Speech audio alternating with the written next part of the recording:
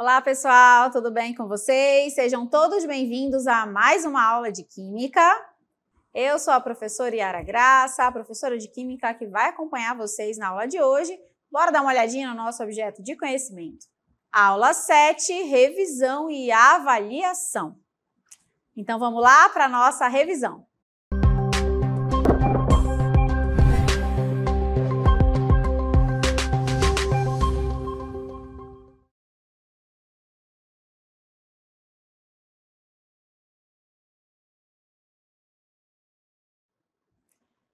Então, queridos, na nossa aula aqui de revisão, a gente vai abordar um pouco mais os assuntos tratados, né? Reforçar todos esses conceitos de introdução ao estudo do carbono, também vamos falar um pouquinho dos hidrocarbonetos, das proteínas. É uma aula cheia de assunto, cheia de coisa boa, tá? Então a gente vai iniciar com esse conceito da estrutura do carbono, né, da química orgânica. Olha só.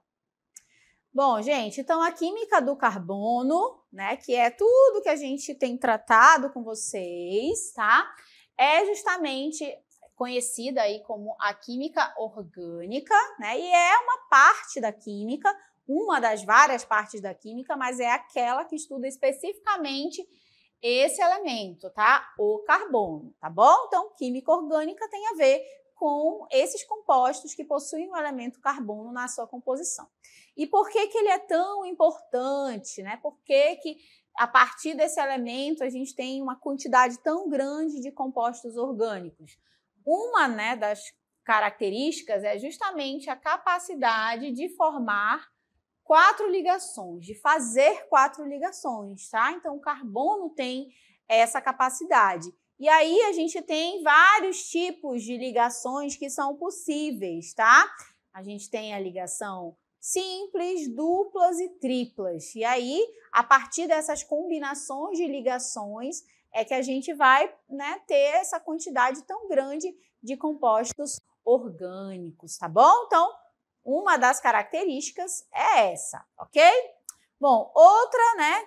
Isso faz com que a gente tenha uma vasta quantidade de compostos orgânicos, né? Essa possibilidade de ligações faz com que a gente tenha essa grande quantidade. Outra característica é que os compostos orgânicos, ou o carbono, melhor dizendo, ele pode se ligar, ele se une, né? Os carbonos se unem e podem originar longas cadeias carbônicas. Os rearranjos moleculares também acabam fazendo com que as propriedades que esses compostos possuem, possuem né, são, vão sendo gerados, eles sejam totalmente diferentes. Então, cada substância mudou uma ligaçãozinha, gente, a gente já tem uma nova substância com propriedades completamente diferentes, tá? E aqui eu apresento a vocês o que a gente chama de cadeia carbônica, composto orgânico, tá? Então, nós temos aqui um mix de de maneiras de representar, né? Então, essa região, por exemplo, aqui de CH3, a gente está representada de maneira, né? É, que a gente consegue visualizar os átomos. Já essa outra região aqui do meio, a gente é como se eles estivessem escondidos, né? Ocultos, mas eu vou representar para vocês para a gente poder perceber toda essa cadeia carbônica que possui aqui, vamos contar, né? Quantos carbonos? Olha, um, dois, três, quatro, cinco, seis carbonos, tá? Então, é uma cadeia com seis carbonos. Essa estrutura que você está vendo aqui é a sua fórmula estrutural, é a maneira com que a gente representa essa cadeia. Outra coisa importante eu vou colocar em destaque é a ligação dupla. Lembram-se que eu comentei que, dependendo aí do, da cadeia, a gente pode ter ligação simples, que é essa aqui, com um tracinho apenas, a gente pode ter ligação dupla, tá? A gente também pode ter ligação tripla, mas não é o caso aqui para essa cadeia, tá bom? Bora contar aqui, né, estabelecer a fórmula molecular para esta cadeia carbônica, esse composto. A gente já viu que tem seis carbonos, então é C6, né? Seis carbonos nessa cadeia. Agora vamos contar os hidrogênios, tá? E aí, dependendo do tipo de ligação, a gente vai ter uma quantidade de hidrogênios diferentes, tá bom? Então, a, nas extremidades, onde tem CH3, eu já sei que são nove, né? 3, 3 e 3. Então, nós temos nove hidrogênios já somados. Aqui, ó, no, CH, no carbono 4, nós temos mais dois, né? Por conta da quantidade de ligação que já foi estabelecida. Nesse carbono 3, não tem mais hidrogênios, porque as quatro ligações já existem. E no carbono 2, como já tem três ligações, né, bonitinhas ali, então só falta uma ligação com hidrogênio, tá? Agora, somando tudo, né, nós já tínhamos 9, mais um ali de cima, 10, e mais dois do último, 12, tá? Então, a fórmula molecular é C6H12, ok? Bom, então conhecendo agora, né, já sei como estabelecer a forma estrutural, já consigo identificar que é uma cadeia porque tem carbono. Bora conhecer uma das funções, né? Então, dentro da química orgânica, nós temos várias funções, tá? São várias, né? Então, eu vou apresentar, vou reforçar com vocês aqui no momento da revisão um tipo de função. E a gente tem que lembrar que existem outros mais, né? Então, vamos conversar sobre os hidrocarbonetos, tá? O que, é um hidrocarboneto, né? É aquela cadeia, aquele composto orgânico que tem só carbono e hidrogênio. Olha só. Então, né? O hidrocarboneto só tem carbono e hidrogênio na sua composição. Tá escrito aqui, olha. Somente carbono e hidrogênio, tá? Se tiver qualquer outro elemento, gente, não é mais um hidrocarboneto, tá? Passa a ser uma outra coisa ou vai ser oxigenado, ou vai ser nitrogenado, tá? Para ser hidrocarbonetos, tem que ter carbono e hidrogênio apenas, ok? E aí, dentro dessa classificação dos hidrocarbonetos, a gente tem também uma subdivisão que a gente vai já conhecer. Apresento a vocês aqui alguns exemplos de hidrocarbonetos no nosso cotidiano, como é o caso da parafina, né, da vela, temos aí o gás, né, liquefeito de petróleo, as garrafinhas PET, que são, são polímeros, temos aí a gasolina, né, quando a gente fala, por exemplo, de octanagem, dependendo, né, do, de onde essa gasolina foi refinada, né, que processos ela passou, a gente vai ter ali uma gasolina boa, né, ou não tão boa assim, e isso se deve principalmente por conta da quantidade de carbonos ali presentes. Quanto maior a octanagem, ou seja, oito carbonos, melhor, vamos dizer assim, é aquela gasolina para o veículo, né? Então também tem essa regrinha aí da quantidade de carbonos. Bom, então a gente já viu os exemplos, agora eu vou apresentar para vocês essa classificação, tá? Então, dentro dos hidrocarbonetos a gente tem uma subdivisão, olha só. E essa subdivisão ela vai depender de algumas características. Cada um vai ter uma característica que vai fazer com que a gente consiga identificar que aquele composto é um alcano, um alceno, um alcino, um alcadieno, ciclano, cicleno aromático, tá, gente? A gente precisa ter isso anotadinho, senão vai dificultar a nossa vida, hein? Então, bora lembrar. O que é um hidrocarboneto? Só tem carbonos e hidrogênios. Então, todos esses aqui são hidrocarbonetos. Todos têm carbonos e hidrogênios, tá? O que vai diferenciar um do outro? Vamos lá, é a sua característica. Para ser um alcano, necessariamente a, as ligações presentes ali entre os carbonos têm que ser ligações simples. É aquela ligação de um tracinho só, tá? Para ser classificado como um alceno, tem que ter pelo menos uma dupla, que é aquela ligação de dois tracinhos, né? Um tracinho simples, dois tracinhos dupla. Para ser classificado como um alcino, tem que ter aquela ligação de três tracinhos. E aí classifica como alcino. Alcadieno tem que ter duas ligações duplas. Não confundam alceno com alcadieno, né? Nos dois casos temos ligações duplas, é a quantidade de ligação que vai diferenciar. Se é só uma, é alceno. Se são duas, é alcadieno. Ciclano, né? É aquele que forma um ciclo, tá? Cadeia fechada, que a gente chama. Pode ser com três carbonos e aí vai formar um triângulo, né? Algo parecido com um triângulo. Com quatro carbonos vai ficar um quadrado. A gente vai lembrar daquelas formas da matemática, né? Aqueles, aquelas formas que a matemática apresenta pra gente, tá? Vai, vai facilitar identificar um ciclano. E o cicleno, é também cadeia fechada, mas tem uma dupla ligação na sua estrutura. E o aromático é aquele especial, tá? É aquele que possui a ressonância, tá? Ele é bem diferente de todos os outros, porque justamente ele, ele é também uma cadeia fechada, né, o aromático, mas ele possui esse, é, essa ideia da ressonância, que é quando nós temos as três ligações duplas alternadas entre os carbonos. Então, um aromático é sempre um hexágono. Estão lembrados do hexágono, né? Seis carbonos. Daqui a pouquinho eu coloco um exemplo para vocês do aromático, tá? Agora a gente vai para a nomenclatura.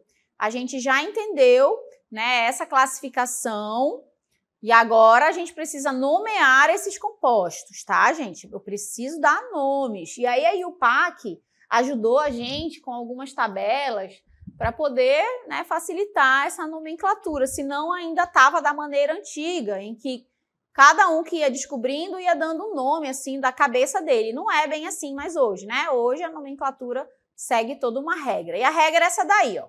Prefixo que é a, indica a quantidade de carbonos, infixo, que é a parte do meio do nome, que indica o tipo de ligação que ele tem. E como a gente está falando de, de hidrocarboneto, né? Só estou falando de hidrocarboneto aqui nesse momento. O único sufixo possível é a vogal O, tá? Não tem outro. Se a gente, se você for falar de outra função, aí você vai ter outros sufixos, né? Se for falar de álcool, é OL. Se for falar de aldeído, é al, mas nesse momento dessa aula, o único sufixo possível é a vogal O, tá? Bom, e aí, bora reforçar lá o prefixo, que é o que muda mais, né? O prefixo que você está vendo lá na pontinha, né, no começo da nossa tabela, ele indica justamente a quantidade de carbonos que aquela minha cadeia possui, tá? Como eu já comentei, aqui a gente vai usar apenas até o 10 e já é suficiente, ok? Então, por exemplo, se for uma cadeia com três carbonos, a gente vai olhar lá no esqueminha, três carbonos, o prefixo vai ser prop, né? Prop se tem apenas três carbonos. Já a parte do meio da nomenclatura, que a gente chama de infixo, indica o tipo de ligação. E aí pode ser simples, dupla ou tripla. Não esqueçam que tem essas três possibilidades. Se só tem ligações simples, só o tracinho, o infixo é o an. Se tem uma ligação dupla, é o em. E se tem uma ligação tripla, é o in. Tá? An, em ou in. E, como eu já falei, a vogal O, né? E agora vamos ao exemplo, olha só. No exemplo que eu trouxe para vocês, né? Trouxe essa cadeia carbônica, tá? E ela, a gente, de cara, já consegue observar que ela tem quantos carbonos? Dois, né? Dois carbonos e somente ligações, uma ligação simples entre esses carbonos. Então, vamos dar, dar um nome para esse composto, tá? Então, começando aí pelo prefixo, né? Como só tem dois carbonos, o prefixo só pode ser et. Não tem como eu colocar, por exemplo, X, porque X são seis carbonos, gente. Tem que olhar lá na tabelinha, no esqueminha, que vai facilitar a sua vida, tá? Então, dois carbonos na minha cadeia, o prefixo é o et. Bora agora para a parte do meio, né, do infixo. Eu observei que só tem ligações simples essa cadeia. Esse tracinho que você está vendo no meio, entre os carbonos, é uma ligação simples. Então, só pode ser né, o infixo an, então, eu já tenho o prefixo que é o et, o infixo que é o an. Agora vamos para a parte né, final dessa nomenclatura. Eu tenho certeza que é um hidrocarboneto. Por quê que eu sei que é um hidrocarboneto? Porque só tem carbono e hidrogênio. Não é verdade? Só carbono e hidrogênio. É um alcano? Por que, que é um alcano? Porque só tem ligações simples. Então, já consigo caracterizar esse composto como sendo um alcano, tá? Um alcano hidrocarboneto. E aí, por ser um hidrocarboneto, a vogal, o final, o sufixo, só pode ser o O. Agora a gente junta tudo, olha só, o que, que vai dar, né? Et do prefixo, an do infixo e O do sufixo. O nome desse composto é etano. Etano. Olha só, juntei todas as partes e tive o um nome. Outra maneira que a gente pode né, identificar e conceituar esses compostos é fazendo o processo inverso, tá? Às vezes vai aparecer para a gente o nome lá, né? Diz assim, butano. Butano. Aí a pessoa fica pensando, né? Butano. Qual é a estrutura que tem um butano, gente? que, que vocês acham? Qual a estrutura que um butano possui? Aí a gente vai raciocinar, pô, se o nome né, é dividido em três partes e a parte inicial é a quantidade de carbonos, o but indica pra gente o quê? Quatro carbonos. Eu vou lá na tabela, né? E aí eu coloco os quatro carbonos. A parte do meio, o AN, indica a é, tipo de ligação, ó, o AN. Só tem ligações simples. E como é um hidrocarboneto, porque termina em butano, termina na vogal O, então eu sei que é uma cadeia formada so, somente de carbonos e hidrogênios, tá?